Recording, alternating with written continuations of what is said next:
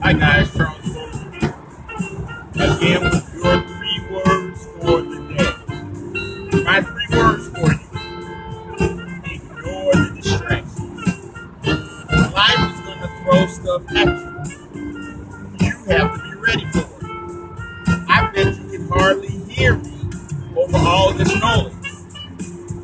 This noise is life. But if you focus, zoom in on what it is you're trying to accomplish,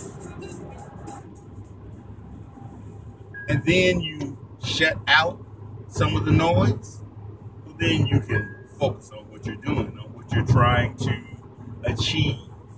There's always going to be some noise. There's always going to be distractions. It is up to you to achieve the focus hone in, zoom in on what it is you're trying to achieve, and get that done.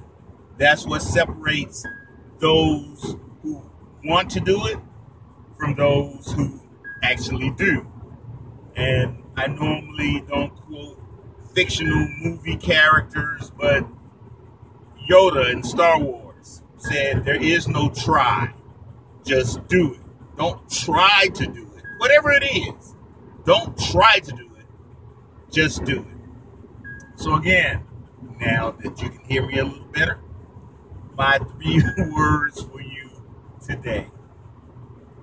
Ignore the distractions. That's all I got for you. Please like and share, leave a comment. This is just a little bit of Bulger and Maxie in the back. That's all I got for you. You guys be blessed.